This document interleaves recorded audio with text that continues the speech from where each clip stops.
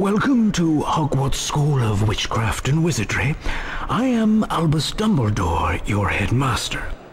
Now, Hogwarts is full of secrets, Harry, so search behind every door. But keep in mind, not all secrets are rewarding.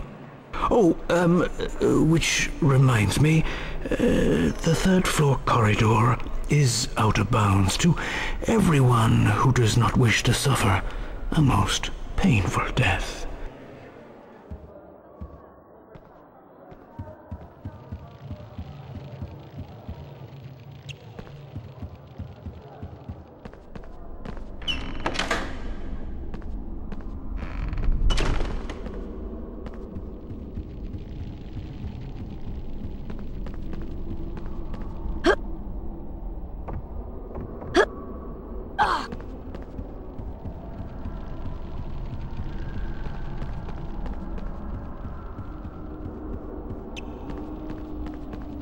By the look of that scar, you must be Harry Potter.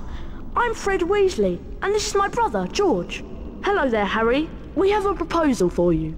In Hogwarts, there are special portraits, and behind these special portraits are prizes. But of course, not just anyone can open up the portraits. You need to know the password. If you bring us earwax every flavour beans, we'll tell you the password. We'll be in the Gryffindor common room, which is through the portrait of the fat lady. See you around, Harry.